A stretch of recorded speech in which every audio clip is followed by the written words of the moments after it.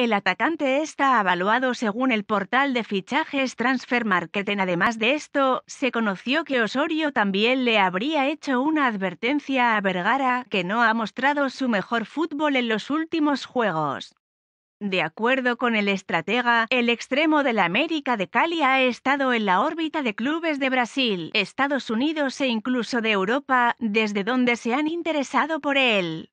Esta vez desde México nació el interés por el jugador. En los últimos días, el portal mexicano, el jugador de América de Cali Dubán Vergara nuevamente está en el radar de Rayados para convertirse en su refuerzo.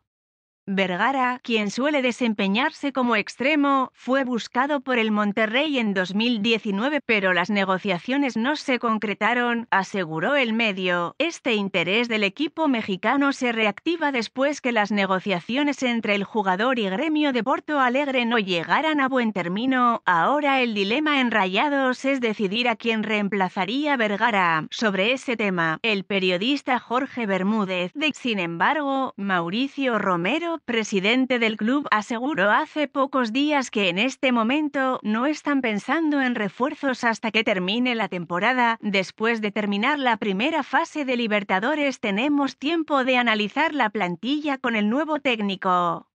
Ahora es una locura decir que necesitamos, dijo el presidente, a pesar de estar a solo tres puntos de Cerro Porteño, equipo que tiene el boleto de la clasificación. América no ha mostrado mejoría en esta fase y parece que nuevamente se quedará por fuera. El cuadro escarlata ya tiene en la mira su próximo choque en el grupo H cuando se mida con el líder de la zona, Atlético Mineiro.